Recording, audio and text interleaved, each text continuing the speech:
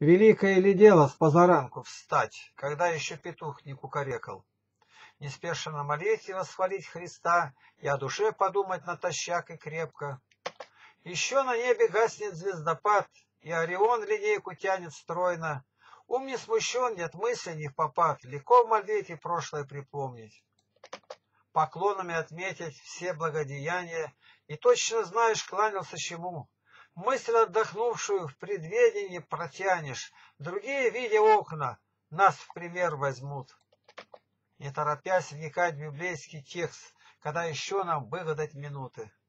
За суетой спешащим нет времени присесть, заботой дня им ум тревожить, путать.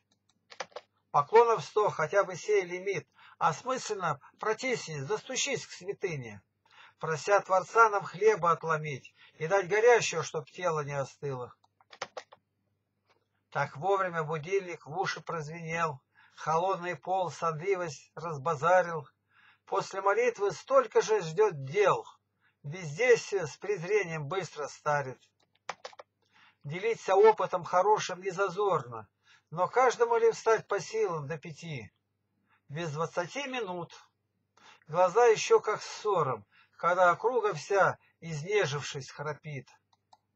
Великое ли дело свой путь обмозговать, благословением евангельским сугубо заручившись, рюкзак новозаветий кинув на кровать, по старость сам себе почувствовав мальчишку.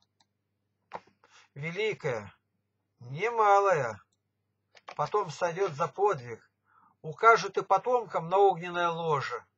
Начнем. Две стрелки к рубежу подходят, Иначе обмельчаешь, совет презрением сгложишь. 25 ноября 2000